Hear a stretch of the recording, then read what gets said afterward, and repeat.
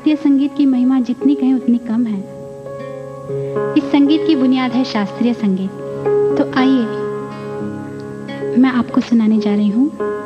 राग मियाँ मल्हार। ये आइटम पेश करने से पहले मैं एक मज़ेदार किस्सा सुनाना चाहती हूँ। लंदन में शो था, अमिताभ बच्चन साहब के साथ हम लोग गए थे। मैं, अलका, सोनाली भी थी। तो क्लासिकल गाने के नाम से ही हम लोग डर गए कि लोग कहेंगे, फ़िल्म म्यूज़िक सुनने आए हैं। लेकिन अमिताभ जी ने, कल्याण जी भाई ने, आनंद जी भाई ने कहा कि नहीं, हमारा भारतीय संगीत हम लोग पेश करेंगे और बहुत अच्छे तरीके से पेश करेंगे और लोगों को ज़रूर पसंद आएगा।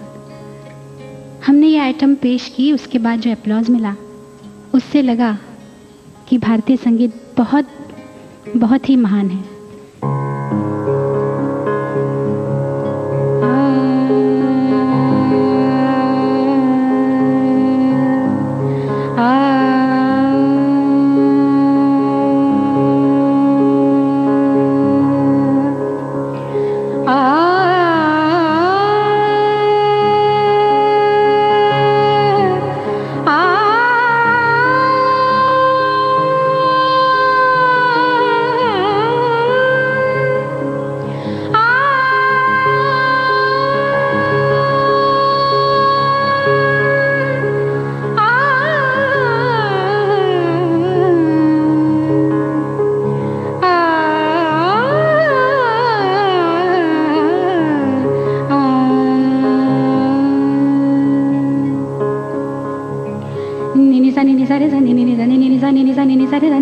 Ni ni ni sa ni ni ni sa ga ga ma re re sa ni sa ni ni ni sa ni ni ni sa ga ga ma re re sa ni sa ni ni ni sa ni ni re re pa pa ma ga ga ma re re sa ni sa re re ga ga ma re re ni ni ni ni ni ni ni ni ni ni ni ni sa ni ni ni sa ni ni ni sa ni sa